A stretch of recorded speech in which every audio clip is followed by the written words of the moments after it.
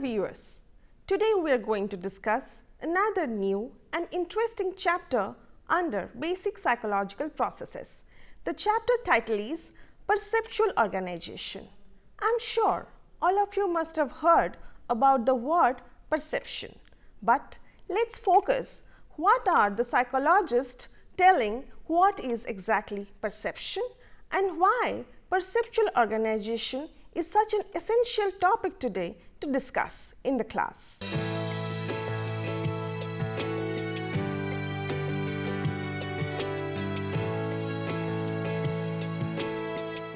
So, in this chapter, we are going to focus on few objectives. To start with, what is perception? Who are the founder member of perceptual organization? Next, we will be focusing on what is perceptual organization. Next, how many categories of perceptual organization developed by Gestalt psychologists. In this further chapter, we will discuss more in depthly about Gestalt psychologist. Next, it will be followed by application of perceptual organization. To start with, perception can be defined as a recognition and interpretation of sensory information. Perception also includes how we respond to the information. We can think of perception as a process where we take in sensory information from our environment and use that information in order to interact with our environment. Perception also allows us to take sensory information in and make it into something very meaningful. Perception is tempered by view of view and experience. Because of this, no two people see things in the same way. Example, one person might see a fancy sports car and another person may see another accident is waiting to happen. Coming to the second example, one person may see a cell phone or a mobile phone as a necessary communication device and another person might see the same device as a time waster. Our perception is governed by the information we have access to and the way we interpret it. That's why the area of perceptual organization is so important. Example, have you ever noticed how a series of flashlights often appears to be moving such as neon signs or strands of Christmas or Diwali lights. According to Gestalt psychology, this apparent movement happens because of our mind filled in missing information. This belief that the whole is greater than the sum of the part of individual's part led to the discovery of several different phenomena that occurs during perception.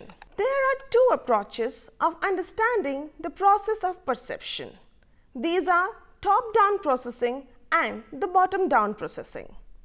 Top down processing is defined as development of pattern recognition through the use of contextual information.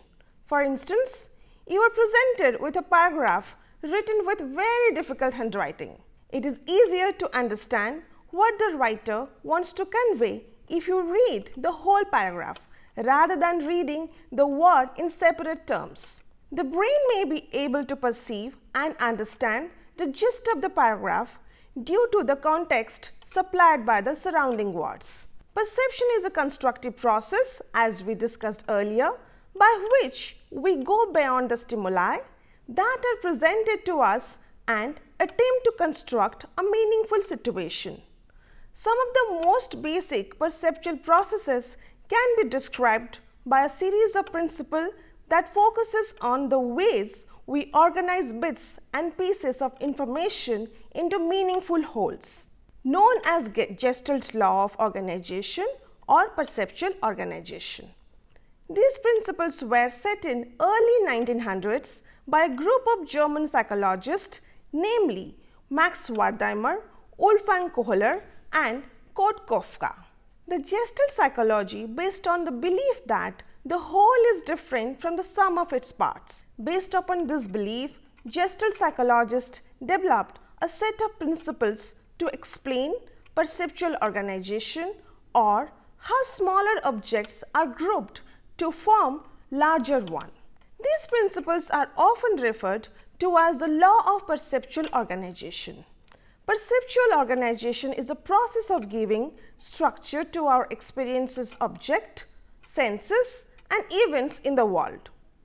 Perceptual organization is a process of grouping visual elements together so that one can more readily determine the meaning of visual as a whole. In 1910, psychologist Max Wertheimer had an insight when he observed a series of lights flashing on and off at a railroad crossing. It was similar to how the lights encircling a movie theater mark you flash on and off. To the observer, it appears as if a single light moves around the marquee, the traveling from bulb to bulb, when in reality it is a series of bulbs turning on and off and the lights do not move at all. This observation led to a set of descriptive principle about how we visually perceive objects. These principles sit at the heart of nearly everything we do graphically as a designers. Under this perceptual organization, there are majorly six categories existing. The first is law of proximity. In law of proximity, the elements that are placed close to each other will often be perceived as one group. The law of proximity is a gestalt grouping law that states elements that are close together tend to be perceived as a unified group. The straightforward laws states that items close to each other tend to be grouped together, whereas items further apart are less likely to be grouped together. Please look at this image. This says the 15 figures above form a unified whole because of their proximity. As you can see in this image, there are 15 figures of human being. But if you see from close, this looks like a tree. Another example, when as you can see in this picture mystery islands, when the dots are placed close to each other in a groups, we tend to perceive three column rather than a whole group of dots. Look at the Mystery Islands logo created by Gert van Duyden. The lines created, the islands are clearly recognizable as equalizer lines. The second law of perceptual organization is law of similarity. Objects that looks alike with similar components or attributes are more likely to be organized together. Objects are viewed in vertical rows because of their similar attributes. The visual part of the capture logo shared with the textual part a kind of viewfinder which is the same of the capital English letter C and E letters. Coming to the third law of perceptual organization which is law of continuity. In this law, objects will be grouped as a whole if they are collinear or follow a direction. These dots are arranged in a line are considered related. In this image, we perceive a long element, line created from the red dots on the other hand, the line created from the black dots is perceived as interrupted. Law of continuity applied to the real design. Objects will be grouped as a whole if they are collinear. From this image, as you can see, there is a linear line with black dot and red dot and there is another line from up to down starts from red dot to black dot. But if you see actually the line red dots separate, the line the black dots are separate. Law of continuity allows you to see this both red dot and black dot as one. That is why it is called as law of continuity. The fourth law of perceptual organization is law of figure and ground. In this law, viewers or you all will perceive an object and a surface even in shapes are grouped together, where the objects are called as figure and the ground is called as surface. Have you ever noticed the birds flying in the blue sky? Try to imagine. Law of figure and ground applied to the real design. The most famous example of figure and ground perception is probably the face and vase drawing that Danish psychologist Edgar Rubin described. This drawing exemplifies one of the key aspects of figure ground organization. This is the picture. This is the example of law of figure and ground. Let's explain it. Notice in the face or vase drawing, the perceived shapes depends critically on the direction in which the border between the black and the white regions is assigned. If the two curve edges between the black and white regions are assigned inward, then the central white region is seen as a vase shape in front of a black background. No faces are perceived in this case. On the other hand, if the edges are assigned outwards, then the two black profile faces are perceived on a white background and no vase shaped is perceived. As you can see here, the background here is white and the picture is totally black.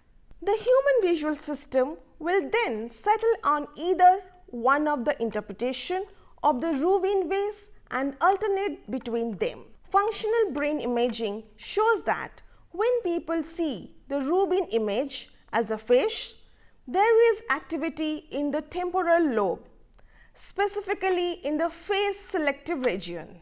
Focus on this figure and try to understand law of figure and ground. In this law, two main factors that affect the way we perceive the figure and ground in any given design.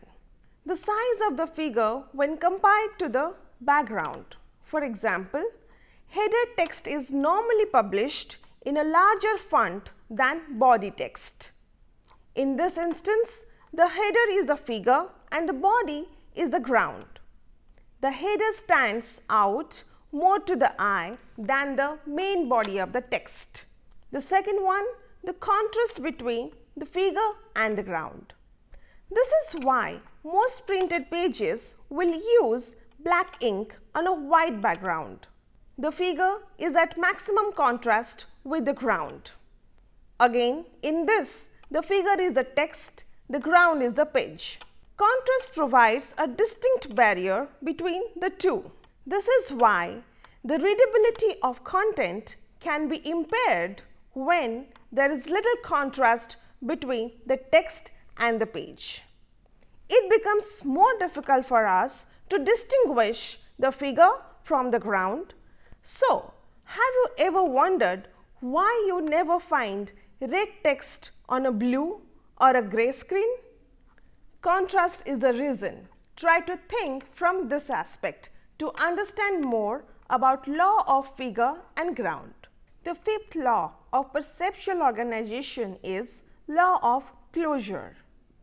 The law of closure explains how we perceive incomplete shapes. In perception, there is a tendency to complete unfinished objects. We tend to ignore the gaps and complete the contour lines. Example, we tend to ignore the gaps and complete contour lines. An extremely famous logo based on closure is World Wild Font Panda. The IBM logo is also another example.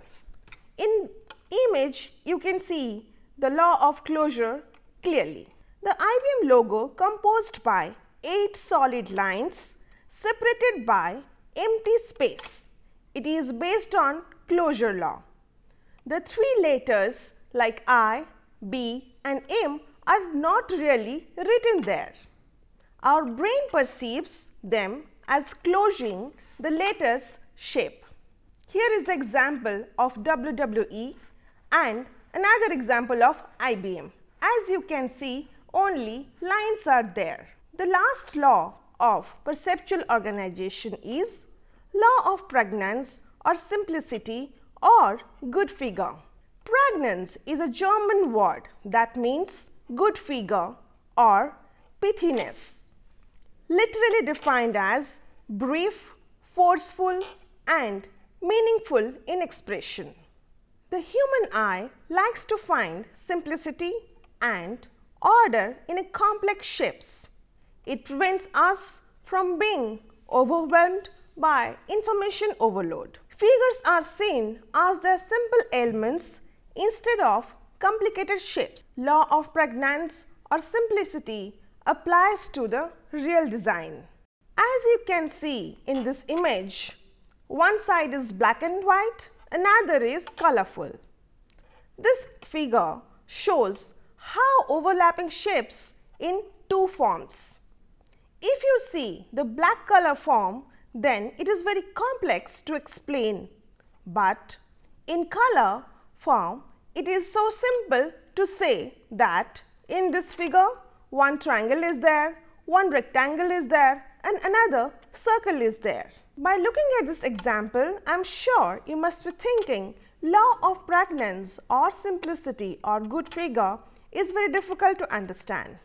But it is only about the perception to follow when you see such images or figures. This law goes by the other name, the law of good gestalt and for a good reason. We humans like to make quick sense of things that would otherwise be upsettingly disordered. We dislike flux and need to find meaning quickly. Luckily, we do not even have to think about doing this. Our eyes are already got there. According to Gestalt, if I say, people will perceive and interpret ambiguous or complex images as the simplest form of possible. To conclude, the perceptual organization, the Gestalt law presents a set of principles for understanding some of the ways in which perception works. Recent research continues to offer insights into perception and how we see the world. This principle of organization play a role in perception, but it is also important to remember that this principle can sometimes lead to incorrect perception of the world.